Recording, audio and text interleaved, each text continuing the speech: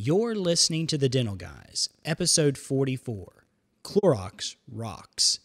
Get your Apex locators fired up this week, Dental Guys. We're continuing our guide to good endodontic therapy. This week, we discuss how to effectively establish patency. Do irrigants really matter? And should you buy into some endo system to do better endodontic therapy? There is so much manure to clean out of these canals this week on The Dental Guys.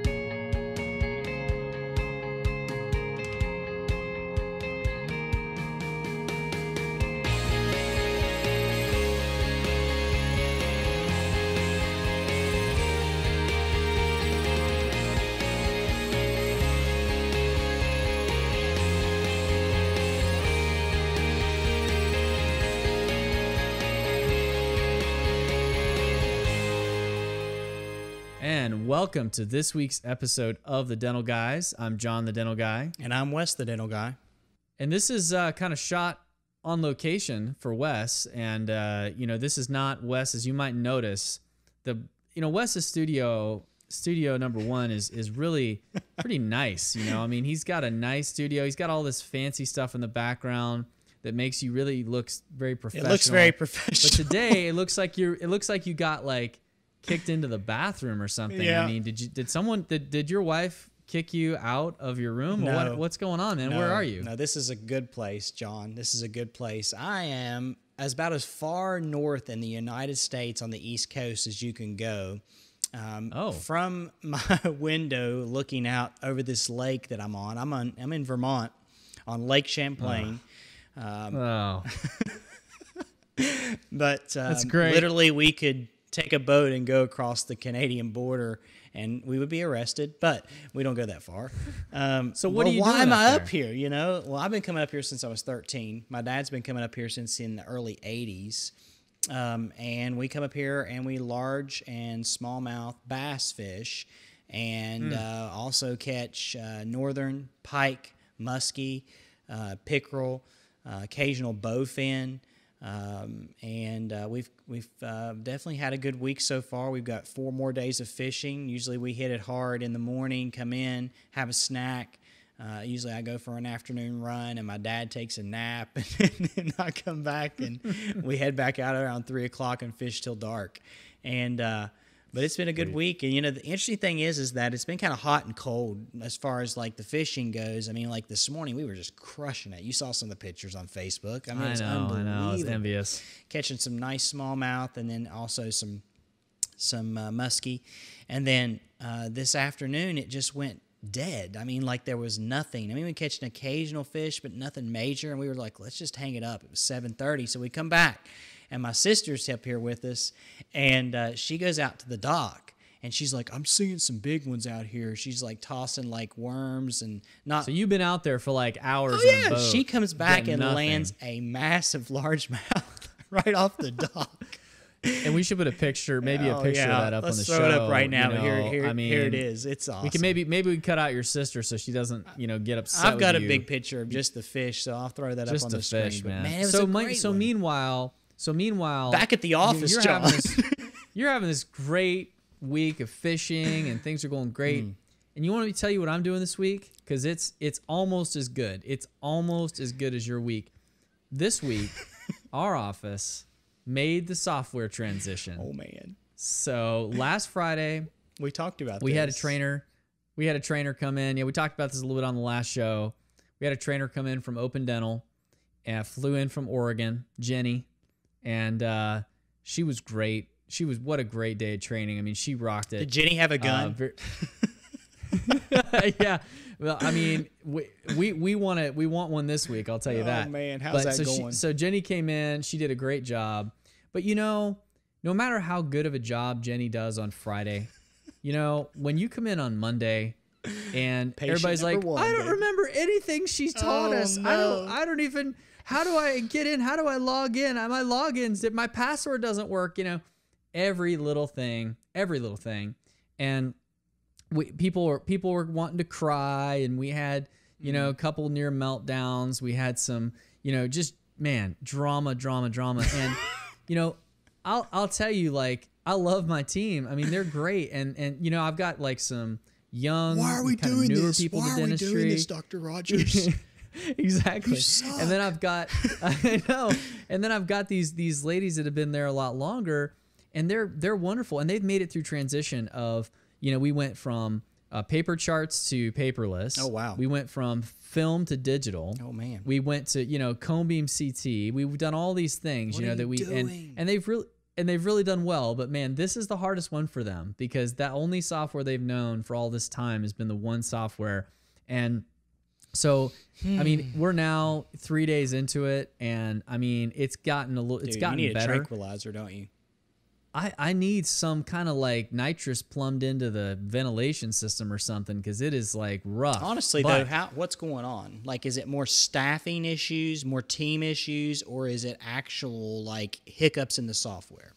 It, it's nothing wrong with the software at all. I mean, the software's been So the really transition from like database to this new database has been how good would you say? seamless. Oh I mean, wow, we that's pretty had awesome, dude. so far, so far, we've not. The only issue we had, and it was very minor, was that some of the uh, database that XDR radiography looks at in Open Dental to pull the patient number to bridge over to XDR. Mm. There are a couple of patients where it was off by one digit. So, like, we just, but that was easy. All we had to do is go right into XDR and change it. So, we've really had, you know, everything come through so far. So, I have no complaints at all. I mean, Open Dental's done exactly what they said they would do. We had no issues with the conversion. So, I'm happy. I think more of it is just, it's new, it's different. Um, but I definitely would would like to be in Vermont this week with you uh, while everybody figures it out. Hey, so. you know, and what's great, John, is that a week from um, this coming Thursday, you Hmm. and I are getting on a plane and we're heading to Scottsdale, Arizona, and we're going to bring to you guys another great interview from uh, one of the great people at Spear Education that is. Uh, a, I'm just excited about that interview. I'm excited yeah. about here's what I'm excited about is I'm excited about too about diving into sleep education um, Yeah. at Spear, and we're gonna Yep. we're gonna really really do some. You know, you guys, we haven't talked much about sleep because we want to know so much about it because we feel like that it could be one of those things that you guys need to understand about too uh, because the more we've treated uh, tmd uh, the more we Mm-hmm. found that there are sleep issues with our patients that is is just prevalent more than I ever thought possible. So Yeah. I'm excited about yeah, that. We're, yeah, we're going to be able to. I think it's going to be a question for us, and we've talked about this. Is you know, how much of this will we want to incorporate daily into our practice in terms of treatment and getting into this, carving out a space for this in our practice, or will it just be something that will help us to know, you know, who we can treat and who we can't. You know, if we see somebody that we think they've got some issues with sleep apnea, should we restore them like we're used to restoring them? You know, so there's some big questions out there. I think it's going to be a great time. Well, now that we've uh, kind of given you guys a little bit of what's coming up, uh, let's get right into what we're going to be talking about tonight. And really, this is a continuation of our series that we've been doing um, on endo. And uh, you know, endodontic. Uh, this this whole topic, this series of topics, has turned uh, really into more uh, as we've gone on because you know every time Wes and I get together and we talk about it, there's more to it that we really want to spend time on because this is a topic that takes a lot. So we really want to continue. Last time we got to the point where we had gotten into the tooth, we'd accessed the tooth, we'd gotten good isolation. And so today we really want to go on to kind of the next step in the process. You know, so you've you've opened the tooth up, great isolation, you can see your canals. So what in the world do you do next? And so Wes, I think what we should start with, and we're going to try to do this show just like we did last time, of kind of what we do, and we're going to try to back it up where we can with some studies. So Wes, kind of tell me, once you get to that point, what's the next thing that you do and, and why? So the next thing I do is just try to establish, um, you know, I don't, I, you know, I think the whole idea is that in dental school we are pushed to get your working length, get your working length, get your working length. That's the first thing Yeah. you need to do. And and Yeah. and to some of that extent, that's what we're trying to do is to try to get a working length so that we can you know determine what our master apical file needs to be. Um, and uh, for me, you know, yeah, I get the 10 file out and I stick it in the tooth. Now, the question is like, do I immediately, you know, John and I talked this in pre production, do I immediately, you know, start by opening up the coronal portion? And the only time that I open up the coronal portion of the of the you know of a canal is if I get binding with a 10 file. And so mm-hmm. you know, I know it's so, you know, one of those things that's kind of backwards is that the whole idea of doing this crown down technique and where you do get binding most of the time is in this coronal third. Now, what we're going to tell you here at the Dental Guys is that there are a, a bunch of different ways to, you know, as, you know, open up that coronal third. And John and I went from, you know, the beginning whenever we were in school to using, you know, gates two, three, and four size files to where I used to use uh, what John is still using now, which is a great file. John, you're using the ProTaper uh, S, was it SX file? Right. The SX. Yeah, that's what I use for opening file. up Corona. And what I'm using right now is I'm using um, so basically I'm using a Wave One or some type of you know whatever my master file size for the canal is going to be. So if I'm in a really small canal, I'm using a yellow. If I'm in a regular size canal, I'm using a red. If I'm in a really large canal, I'm maybe using a black, and I'm opening that coronal third up. It doesn't matter really what you're doing. We want you guys to know that it's not all about the working length. It's about thinking about where binding happens and mm. then getting into that canal system safely so that you don't block yourself out, John, because that's the Yeah, whole I- idea here. Yeah, early on, you know, as as probably most of you were taught, as we were, you know, like Wes said, get to the working length. That's job number one. You want to get that working length radiograph. You know, that's that was the first step in school. And what would happen? I think it's why a lot of people get turned off from endo. I really do. I think that that one uh, really mistake of teaching that is really caused a, a big problem because the truth is is that many times uh, you're going to put a number 10 file down into that canal and it's going to hit you're going to get you know halfway down and you're going to hit a curve. And now you got to think about your 10 files. Say it bends distal. Well your access may you know you may be holding it where it's bent on the coronal mesial. So now you've got a bend halfway down your file and then you may encounter a little bit more curvature. Now your file may be bent two or three different directions. It's not going to efficiently pass down through that canal. So if you if you just stop when your number 10 file hits resistance and you say, All right, I'm hitting resistance, say I'm halfway down the canal and I'm hitting resistance. I used to just try to work my way down Yeah, you because just sit there and you try to actually yeah, work. you watch wind and you're doing all this stuff, and Right. sometimes you get down, sometimes it's fine, And- but you can you block one out. of- you know, One of the techniques that I was taught early on in school, and I didn't even know what I was doing, was to actually step up to like a 35 or a 40 to 45 size hand file, okay? And basically go in there and use that hand file to open up that coronal third. And and then there was a professor that stepped in and she was like, "Look, start learning to use your gates. And you know, I went away from gates because they're gates and and I hate when they break because if you use gates long enough and they will break. And not that I haven't been able to retrieve gates and I think gates are still a viable solution, but again, we're not here to teach you what or tell you what to buy. You know, what we want to teach you is that, or tell you that, is that you need to stop for just a second before you just start watch winding all the way down and back up and open up that coronal third of that Mm-hmm. Yeah. canal. I think there's good and then all your behind that. files yeah and then all your files having to do all your number 10 files having to do after that is just work down into that apical one half or apical one the most frustrating thing is blocking yourself out. Mm-hmm. You know, that is the most frustrating thing is to get in there and then now you can't get through the sludge that you've created. You know, John and I Yeah. we talked about that sludge a little bit.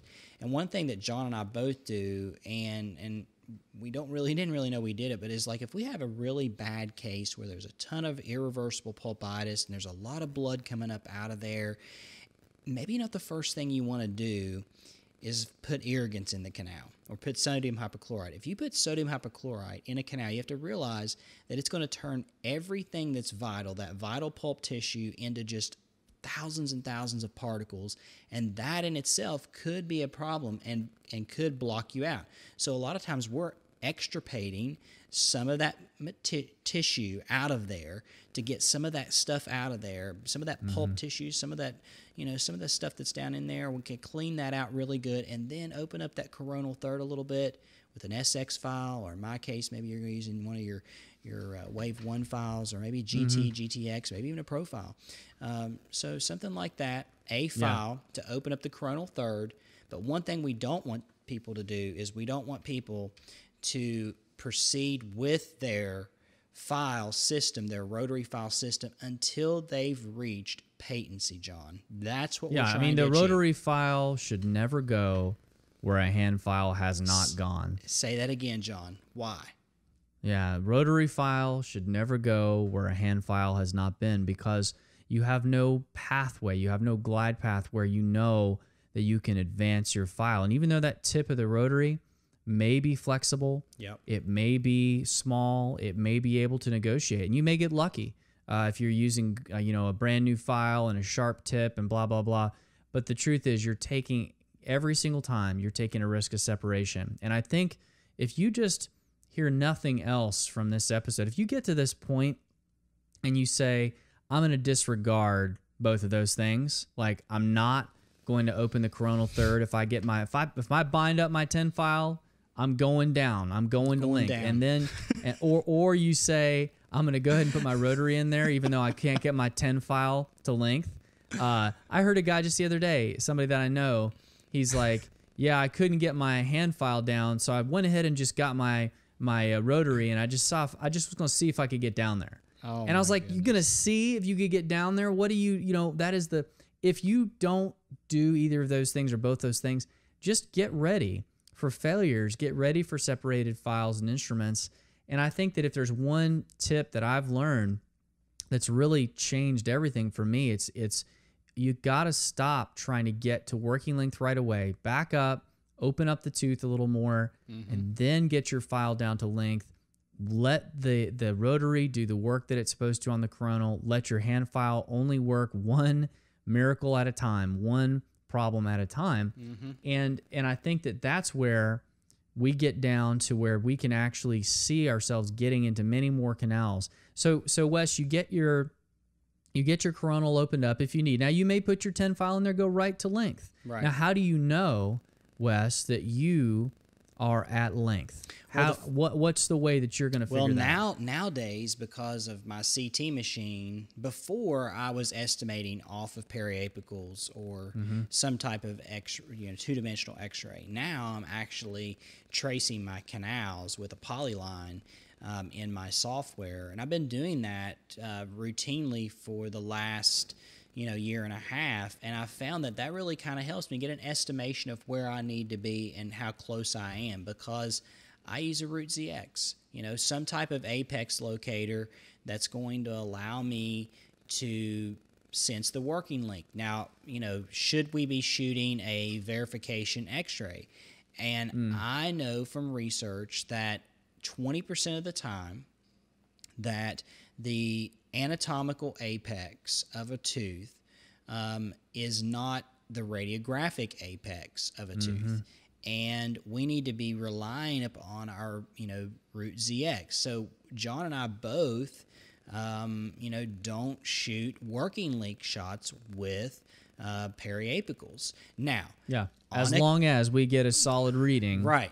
So on our apex one of the things that you'll have happen with you know apex locators is that sometimes you'll get some crazy readings. So if you have a blunderbuss apex or a very large apex, maybe step up to a larger file and you might get a more truer reading. Uh, there's been a lot of controversy over whether you should be using irrigants with apex locators in the years past. That's been completely debunked. Um, yep and even recently, I uh, looked up a study and it showed the same thing. Last year, there was a study that talked about do irrigants affect apex location, and it does not within significant you know uh, study there. So, you know, if you don't get a working length with an apex locator, you need to start thinking about shooting a radiograph. And John, you know that happens occasionally. You know, maybe Sure. once or twice a year, we we have to throw up, you know, bend the handy dam back or take the frame off and take an X-ray, and that's hard to Sure. do. It's not easy, and Yeah. and I'm not saying we're taking shortcuts with apex locators because we're not. Um, we still have to occasionally take a traditional X-ray. I tell you something that's helped us, and this is something interesting. I didn't even talk about this. Is that we have a Nomad in our office, which is a portable, um, you know, X-ray tube head, and that has been awesome for this particular instance because we can position that nomad it seems like a little bit better than we can to get that shot because you know how sometimes it's really hard to kind of use the xcp and the, the traditional arm coming off of the wall that kind of thing whenever you're trying to shoot x-ray the nomad's actually made that kind of nice I'd say that would help. And and uh, one thing I'll just add, um, just kind of as a little clinical tip on, like Wes said, we don't really want to tell you what to buy, but there is one product that I've found that has helped me with getting down to working length in some of these more difficult canals, and that is um, the C plus file. Uh, and there are a couple different companies that make them. Dentsply was the first one, I believe, uh, but I've used a couple different company. Uh, and what they are, they're just a little stiffer version of a K file. so a it's a. K. It's still yeah, still a cutting file, uh, but it has just a stiffer uh, metallurgy. So it's not designed to go around crazy crazy curves. That's not its point. Uh, but it's designed to just resist uh, bending, especially if you're trying to pre-curve your uh, files to find curvatures and things. It just doesn't uh, buckle as easily as you're trying to get down and work that apical. So that's just one product I want to throw in there. If you haven't ever tried, they have C files and C plus files. And the C plus, uh, Cliff Ruddle talked about them a few years ago. So I tried them out and I've had them in my kit. In fact, I don't even have regular K files in my kit. I just have six, eight, 10 uh, uh, that are C plus, and I guess my 15s and 20s are regular Ks. But all of my files I'm actually using for negotiating canals are the C plus, and I've been really happy with them. Like Wes said, I don't take these X-rays either unless absolutely necessary. So so you get into the the tooth, you get down to working length, you've you've gotten to where you feel comfortable with your apex locator reading, you've taken a radiograph if necessary, uh, you feel good about where you are. Um, what about patency, Wes? What what is patency? When do we try to achieve patency? Why do we try to achieve patency? What is it all about? So patency is actually whenever the file goes out the end of the apex. And so we've established working length, but one thing that I always like to do is to take the 10 and I take the 15 beyond the working length. Now, what we're doing there is we're making sure that we are free and clear of any debris in the apex. Now, John, what happens if we don't have free and clear movement of debris in and around the apex. We get blocked Yeah. out. That's what we call Yeah. being blocked out. Now, if that happens to you and you can't get that unclogged, get the pipes unclogged, well, you're at risk for failure of your root canal. And and I think that's kind of one of these things where it doesn't matter whether you're using a C type file, whether you're using a mm-hmm. stainless steel Patterson brand or Salvin brand K file. If you do not get patency or you do not get out the apex with that those files in the beginning, you're at running a risk of not thoroughly cleansing the canal. I don't care what kind of rotary system you're using. I don't care. It doesn't Yeah. matter. You That have to- terminal one millimeter, or so you just don't know for sure Well- unless you put unless you in, unless you touch it. You just don't know for sure, especially in these necrotic cases Yes, where so- we know that we've got apical infection. Mm-hmm. Um, we definitely don't want to leave that area. And, and I've even had situations where um, I go to establish patency with a 10, for instance, and you withdraw that 10, and here comes the pus. Yeah. You know, it's a, you get down in there and you allow drainage of any uh, uh, Well, what is a infectious material out of the What tooth. does a thickened PDL show you on an X-ray? You know, what is a periapical radiolucency? You know, what Mm-hmm. is a periapical cyst? What are these things you're seeing? You know, on an X-ray, they are areas that need to be opened up and drained. And one way to drain those and one way to seal off the route of infection or the source of infection is to get it clean, and that's through the tooth. You're doing drainage and curettage, and you're going to give that that bone the best chance of survival by cleansing the tooth. Um, yeah. yeah. So I think we get we definitely I usually use just a ten uh, for patency. Yeah, I think that I- fine but there too. has you been know. there has been, you know, some you know controversy on well we should go ahead and work up this to a 15 or a 20. I don't think that's you know to me get 10, 15, get it Mm-hmm. patent and get it patent often.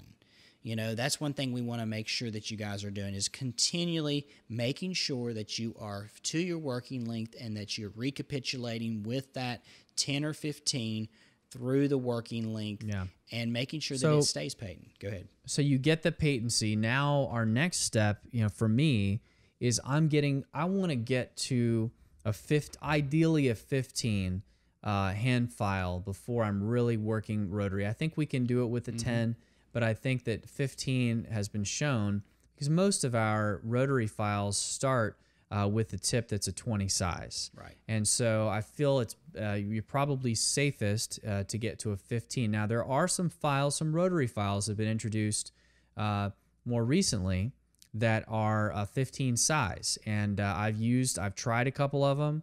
Uh, Path files are one. Um, there's uh, there's another one called ProGlider uh, that's out, uh, and the whole idea with the actually I think one of those replaced the other, and I can't remember which was which. One of them came first, uh, and then the other came. Uh, there was also uh, a Vortex Blue 1506 file that uh, Steve Buchanan was using for a while. But I think that uh, what I found, and for me, and I'm sure there's people that use them all the time, I just like going to a 15 hand file because I felt like I had control of the case. Plus, I mean, they cost, you know, cents versus Pennies. Yeah. yeah versus dollars and dollars and so it really didn't make sense for me uh, i just like the idea of the hand file because i know that's what i'm going to recapitulate with anyway i don't want to have to switch my rotary They're always just trying to to, sell us the next great thing. You know, Right. it seems Right, like always. that, that we're always trying to make things just, you know, just this is the greatest thing. You know, and I think just slow down for a minute, stick yeah because i think a lot of people what they're really doing too with those is they're using them like we were saying not to use them exactly. They're, they're trying. They're saying, "Oh, this is a path file, Hmm. so it'll create a path for me." Uh, and, and so just be careful, Be very Uh, careful. you know, with the marketing. So we we get it. We get to our 15, and now we're going to go ahead and start using a rotary system. Now this episode is not going to be about rotary instrumentation. Everybody's going to be like, "Oh man, when are you guys going to actually talk about files?" Don't worry, we will talk about files, but we really want to make sure that we uh, really have done our research on this. So we're still we're still working on that. We want to make sure that we're really ready for that show.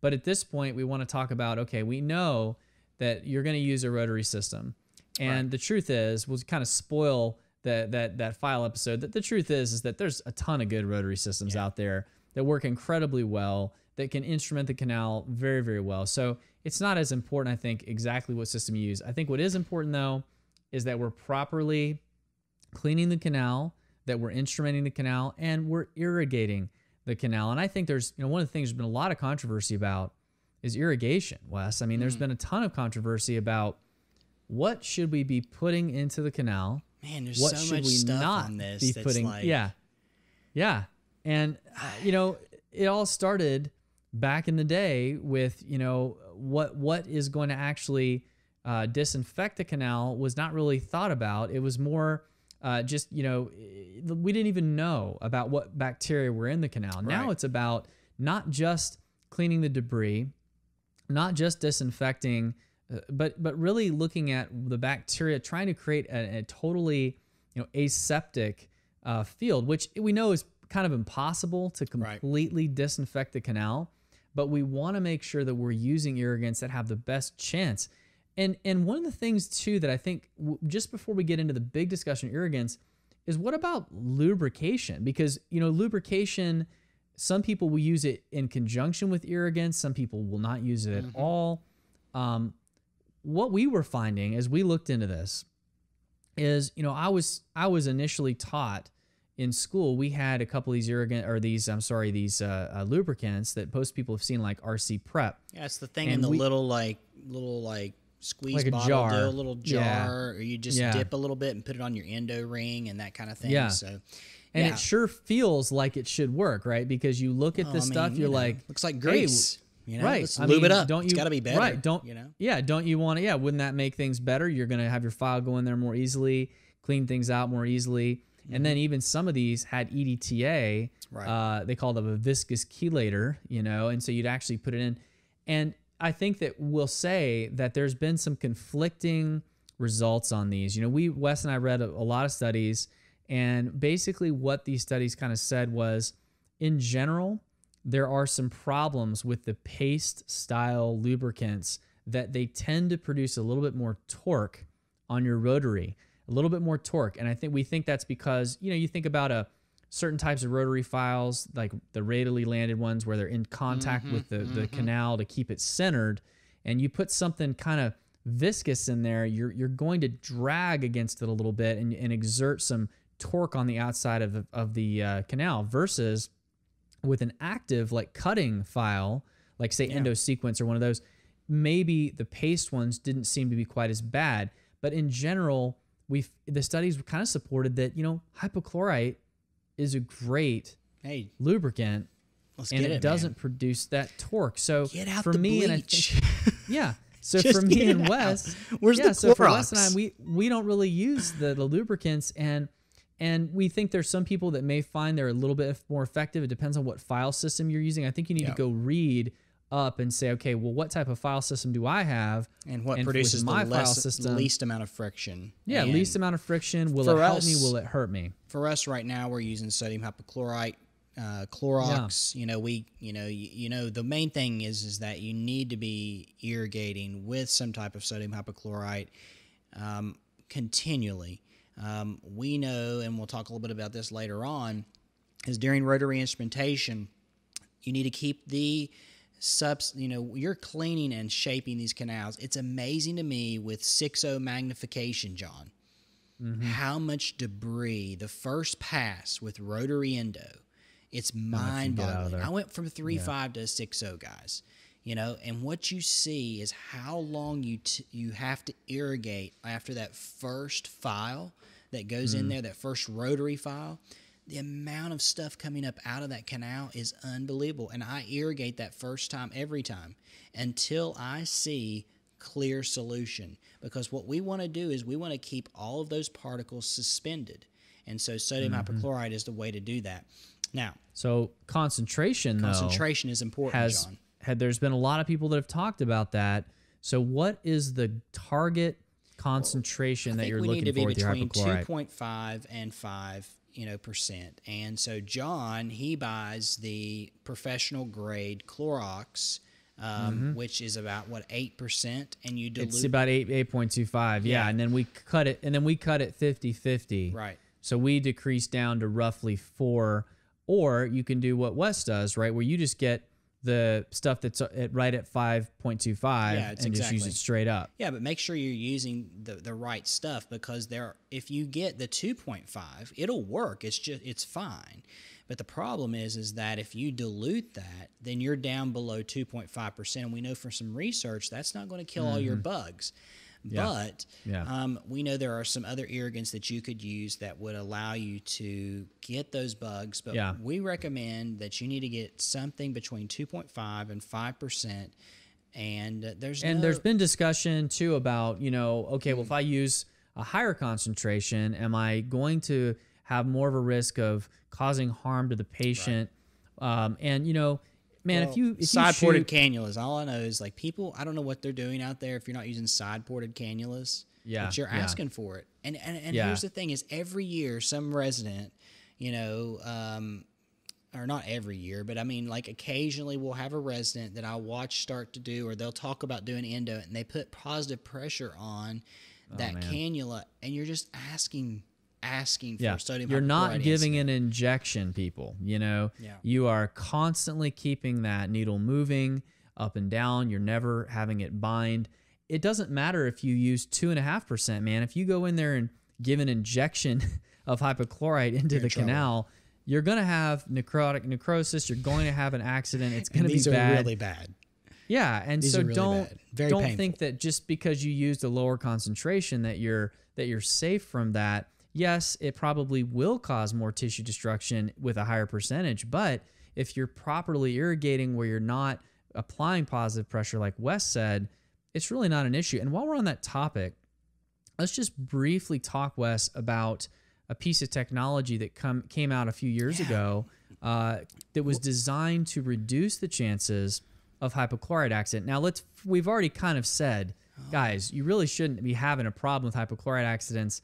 I personally have never had one uh, myself. Um, that doesn't mean I'm like awesome. I just haven't. Have you ever had one, Wes? I haven't had one, and I've seen it in residency, but I've not. I've seen it with our residents, but it's and it's a nasty. I mean, it happens. It happens. It happens, and it's not. It's not gonna, you know, kill the patient. They're No, fine. They completely resolve, but they just look bad and they feel bad. Right. So you don't want to do it. But the Endovac Oh, wow. released as John, the another solution. right? product, another product, and there's a lot of people out there that just love this thing. And Yes. John, tell us, you know, a little bit about this article right here that you're going to pull up. It's, Yeah, uh, yeah, and I think you know. First of all, what Endovac is, you probably know, but if you don't know what it is, it basically is like a, a pump, if you will, that kind of delivers the irrigant and then it, it evacuates it back out. It's like a little vacuum pump, and so it uses your high speed suction to pull it back out constantly. So you're you got this negative pressure that's pulling irrigant out, and it's I mean it's cool. And there very was some uh, initial studies showing that at uh, at right at the apex, um, uh, down at about one millimeter from the apex, that it was a little bit more effective than just a regular needle.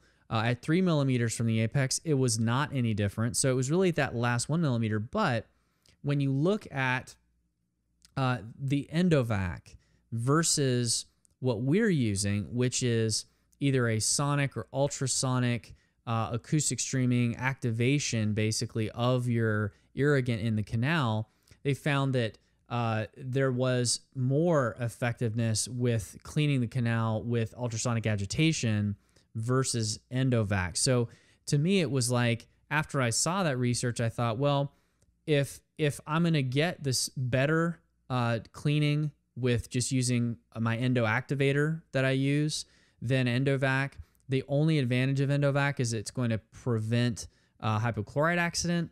I, I'm not really worried about that. I, I'm not going to buy that for that reason. Now, if it was going to debride better, maybe. Right. But it looks like what we're seeing is that you use ultrasonic or sonic activation, you're going to have just as good of a result, and maybe better result than Endovac without having to worry about buying that piece of equipment. Right. Let's talk So- about time. You know, I think time and mm-hmm. irrigation, you know, Yeah. is is crucial. So the, the the one thing that we've always done in our chair is that we've documented the start time on a little piece of paper of when I actually put sodium hypochlorite in the canals. Okay.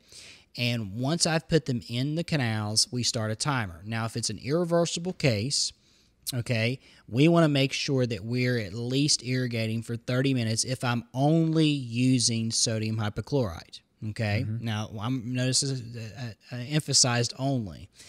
And it's very difficult to finish a root canal, be completely done in 30 minutes or less. Now, sometimes, okay, on these anterior cases, it's like uh 10 minutes and you're done. Okay? We well Right. we've got a solution for you if you're one of these people and you're you're wanting to kind of like, you know, make sure you're dotting your i's and crossing your t's here. Now, on necrotic cases, which we know there's uh, some good research that says we should irrigate longer with sodium hypochlorite, and that's up to 40 minutes. Okay. Now, let's say that we are one of these people that is just the ultimate endodontist. I mean, like, it's amazing, John. You're finishing your root canals, and they look beautiful. They look beautiful. And most likely, you're like, man, I've been sodium hypochlorite for years and haven't had one problem, never a retreat necessary, none of that. But then Joe comes along and you you finish that root canal in five minutes. I mean, like seal it up, put the core buildup in it, and sure enough, three years goes by, and this thing just comes back, and on an X-ray, it looks like a massive blob, you know. And you're like, "Oh, it's a failure! It's a failure." Well, yeah, it's a failure, but why did it fail? Most likely, the bugs were still there. And so, John, tell us about a product that you've been using and one that I'm going to start incorporating in my practice so I can actually finish my endo maybe a little bit faster. Yeah, eh, that that study that showed 40 minutes was effective uh, with um, with hypochlorite um, was pretty. Yeah, that was that was pretty challenging to me. We were never taught that in school because I think we they always knew we'd be in there for like two hours. Right. So they never really told us about time, but you know, 5.25% at 40 minutes was effective at killing the worst bugs. And the worst bug out there that's used oftentimes in these studies is Enterococcus faecalis because it's it always like something that starts with E too? Yeah, man, it's always E's. And it's It's like E's, it's man. the fecal stuff too. It's the isn't it? fecal, man. It's fecal matter. yeah, you got some crap in there. You man. know, wait a minute. So- we're up here. We were just recently fishing down the down the lake here, and my dad and I ran out to get a couple um, bait things at this bait store, and we drive by this dairy farm because Vermont, you know, they got cheese and dairy stuff, and dude, they had a manure spreader right in front of us, and it Oh, smelled so bad. what else smells so bad? Yeah, the canal. The canal. with with, with Enterococcus faecalis in it. Yeah. So now, manure so, you know, man you know coming out my canals. That's right, dude. So I mean, when so when you when you don't, you know, when you have a failure, they found that in failed root canals, the most common bacteria that they were culturing out was this Enterococcus faecalis. So Mm. we know that that's one of the targets of what we want to kill. Now, 40 minutes with 5.25% hypochlorite does it. Yep. So that's great. But what if But you're John, done? you're a star Wes said, endodontist. You're a star. right, you're done in five minutes. You know, I would hang a still feather in say your hat. You're done in five. Right. I would still, for me, I still feel like I, I've set, and it's it's kind of arbitrary. I know exactly. I'm already collecting the money before I even seal it up.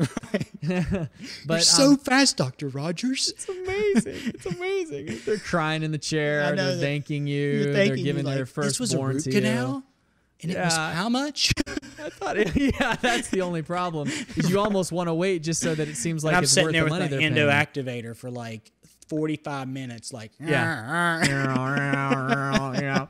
So so what we what we've seen is the product that Wes is alluding to is what's called MTAD and it's basically it's a it's a product by Dentsply that is a, a mixture of a tetracycline uh, along with citric acid and detergents. And why this was really developed was to be kind of the silver bullet Hey, go for peel some uh, oranges. to kill. Yeah, that's right. We've to- been talking to too serious here for 30 minutes, man. We I know, up. man. We need to we need to lighten it up a little bit. We got the poop bacteria that we're talking about. I think we've done it. Let's kill So- some oranges. So, so Zest it. It's been it's been shown that if you put MTAD in the canal for five minutes, five minutes, you're gonna and then and as your final rinse. Okay, so you go through your hypochlorite. I usually still want to leave it in the canal for at least 15 minutes. That's just been more But I mean, arbitrary. but I feel like I, I gotta leave it in there for a little while because usually it just takes that long to dissolve to dissolve the tissue. You know, like Wes was saying, you got debris coming out of there, you got this little bubble action going on, you know it's dissolving. Hmm. But once I feel like I'm at 15, studies show five minutes of MTAD, final rinse with MTAD has been is is effective at killing Enterococcus faecalis. So it kills the bad bug in the necrotic cases or the tough bacteria.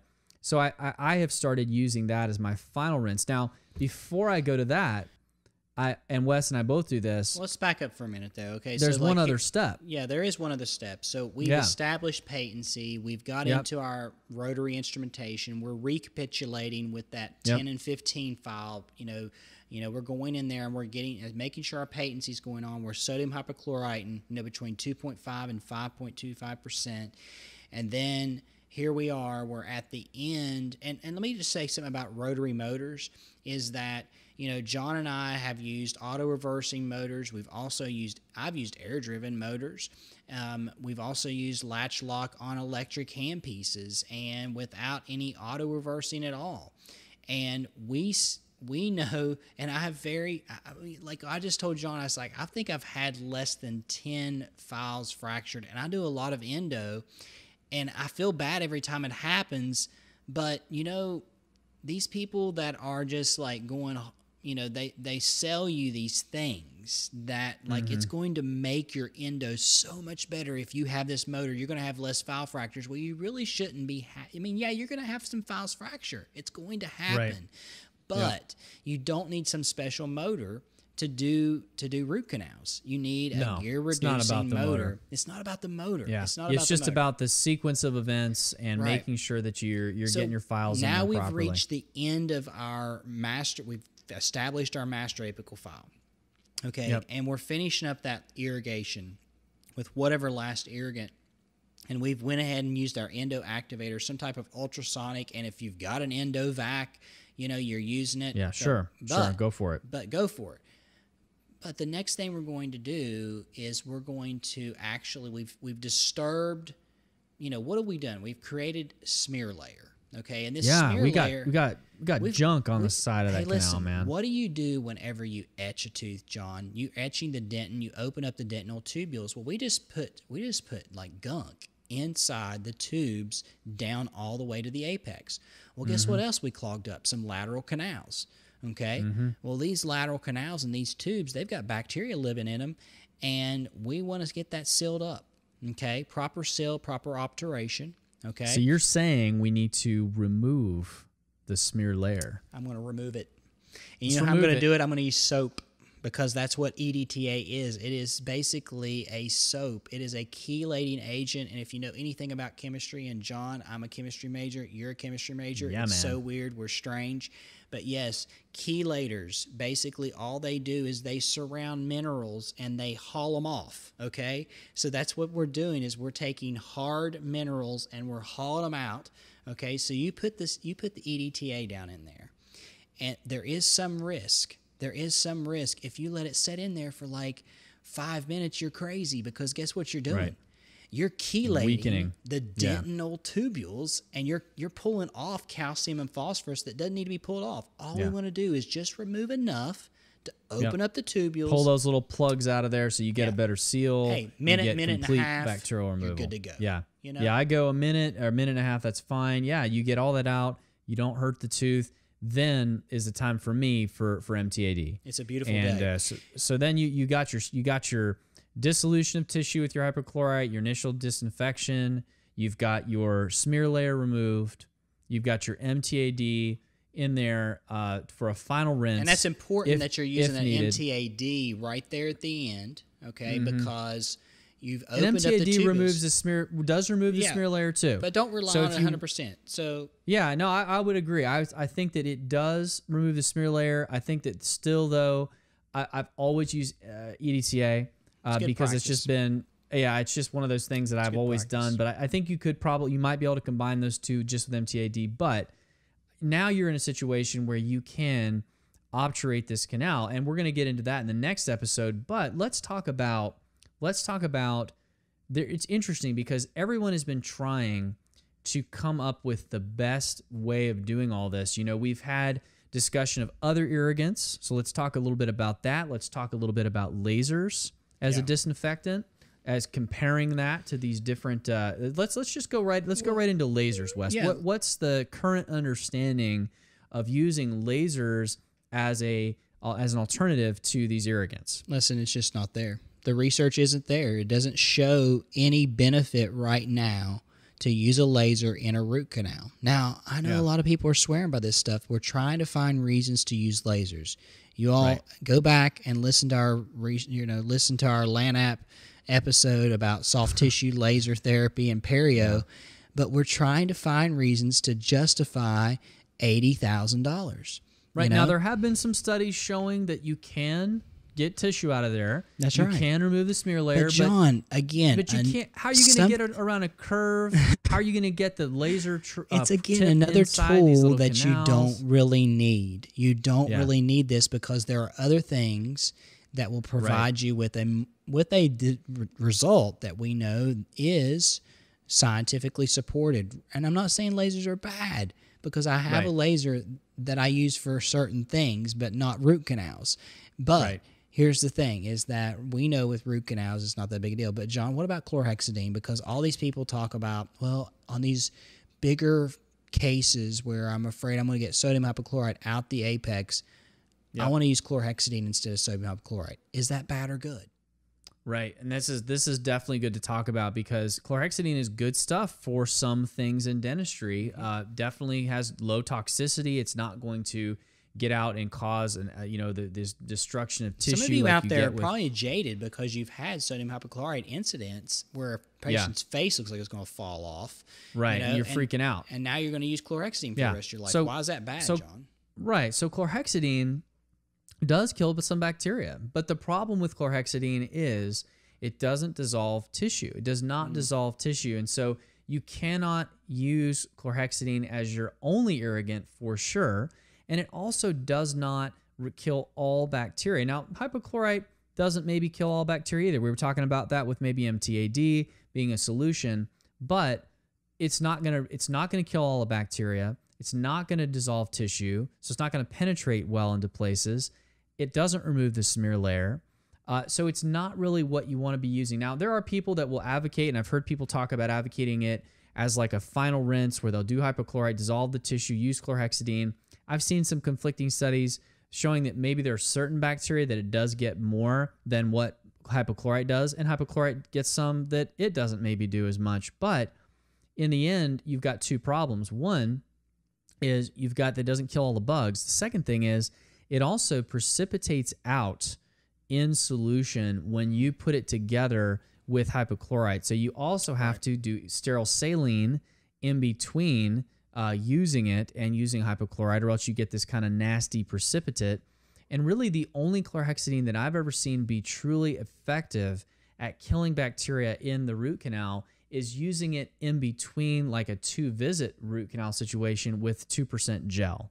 Now, that does have a good antimicrobial activity. And I guess when you that really brings up, calcium you know, hydroxide. Is is the two root canal visit dead, or are there still reasons for us to do that? So, because Hmm. there are cases that you and I talk about rarely that we have to do two visits on, and really the only reason that we're doing a two visit root canal on an adult is for someone that has pus or excess bleeding. Now, there are ways to stop this intraoperatively um, a lot of times. But John times. and I have went back to pretty much what we've been always taught is to use calcium hydroxide. Um, Calcium Mm-hmm. Yeah, hydroxide. you got to close the tooth up. You gotta, yeah, it is. Calcium hydroxide is an amazing material when it comes to intra, you know, intra appointment root canal medicament. Um, time and time again, I've used it and it works. And Mm-hmm. um, you know, the question is, well, how long, John? How long do we go between the, the visits when we put some sodium hypochlorite in there? Yeah, and I, and two weeks. Uh, I think one week is minimum. One week, Uh, yep. Yeah, two weeks, and and, I, and there are some good studies to show this. I think one week is kind of the minimum.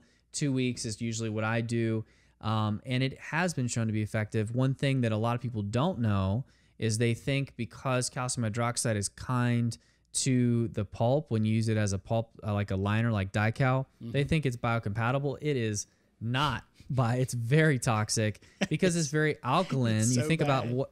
Why does it kill bugs? It kills bugs because its It's pH is, basic. I think it's like 11, or something. Yeah, it's so and bad. so you're throwing this stuff in there. You might as well be throwing like hydro, hydrofluoric acid down in there. It's just the basic uh, side to that. So Hey, if you extrude it outside the tooth, you got to be careful Yeah, with this stuff. Just taking butter up, you know, your MAF, you know, Yeah. cone or something like that, a, a paper point. Paper point. Just yep. butter it up a little bit and scrape the canals. Make sure you get it down to the apex. Yeah. Don't don't shove it out the apex, you know, because you're Right. gonna really hurt somebody. Uh, Yeah. So put it in there. If you have a weeping canal where you can't get it to stop, uh, then I- think that calcium hydroxide is the way to go. And you can mix it with chlorhexidine gel if you so desire, you know, but these are so few and far between. I probably have, I don't know, out of a hundred cases, I might have one, you know, that's that you have to do in two visits, maybe two.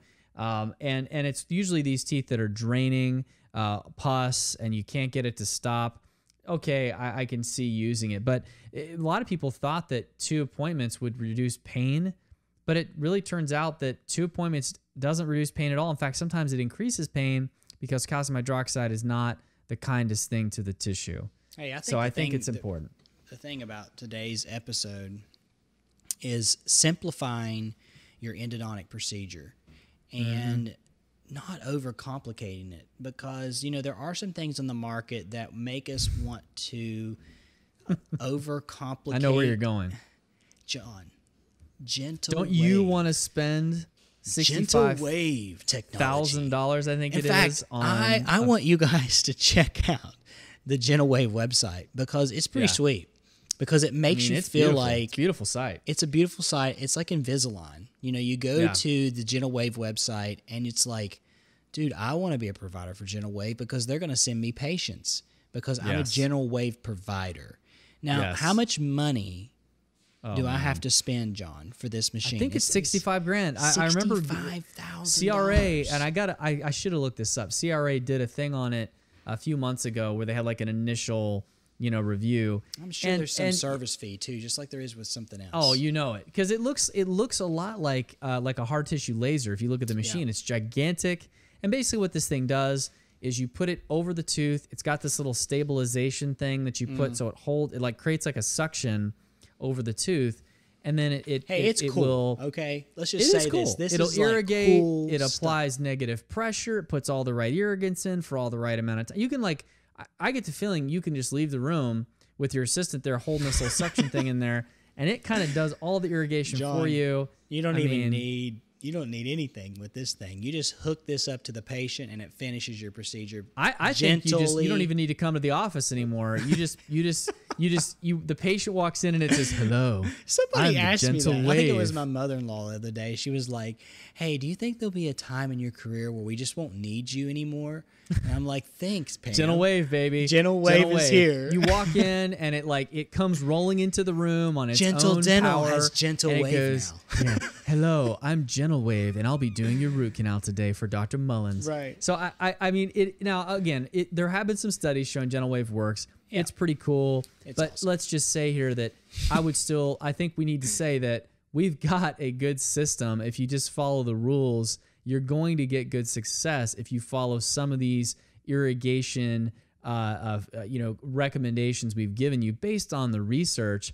But go check out Gentle Wave because it is interesting to see. Is this a future of endodontics? Is Maybe. this where endodontics is going into more Hey, automation? and if you're from Gentle Wave and you want to contact the dental guys and tell us why, Gentle Wave is the next make a thing. case, man. Make, Make the a case, case. because If it I, really I would is have that that conversation. I'm really interested in it because it is cool. I like technology. You know, it's cool, but yeah, I think they'll send us both a free one. Oh, Don't you yeah. think? Oh yeah, Just Gentle a sample. Do you want to be a Yeah. oh man, John, Oh, this has man, been another great stuff. episode, and we don't have time for selling and filling. You know, No, that's we're uh, getting there. We're, We're getting, getting there. there. But I think you know, you guys, you have to understand is endodontics is a whole, you know, a whole host of materials, and it's expensive. When you open up the endodontic treatment kit in my office, the girls like spend ten minutes opening up this whole room. Oh yeah. You know, it's Yeah. a lot and it's a lot to clean up, and that's why we're spending a lot of time on it. Say, listen, Mm-hmm. um, if you're listening to the dental guys and you like hearing what we're talking about, we need you to go right now to our Facebook and Twitter and give us a shout out. We need you to go to iTunes and give us five stars. We love our five star rating.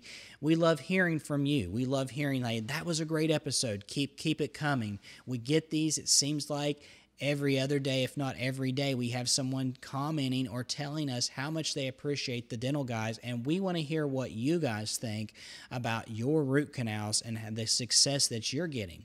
You know, we didn't talk about. You know, sealers and fillers yet. That's coming up. I know you guys will have questions about File systems. file oh, man. systems. There's so many things that we could discuss on this show, and we just love talking this. I think I think today we've laid out some clear evidence, but to, it's really important that you that you check us out on Facebook and you give us a heads up, give us a like, and and tell your friends about the dental guys. Tell other dentists about the dental guys. And uh, we heard recently about one of our listeners out there that he's requiring his team members now to listen to some of our shows so that he can get them on the same page as a young dentist of what he's wanting to achieve in his practice. And a shout out to him for wanting to take it to the next level because that's what john and i are all about is being humble trying to surround yourself with great minds, listen and being open-minded, as we talked about today in one of our conversations with some of our some of our up and coming great clinicians, and um, and you know just just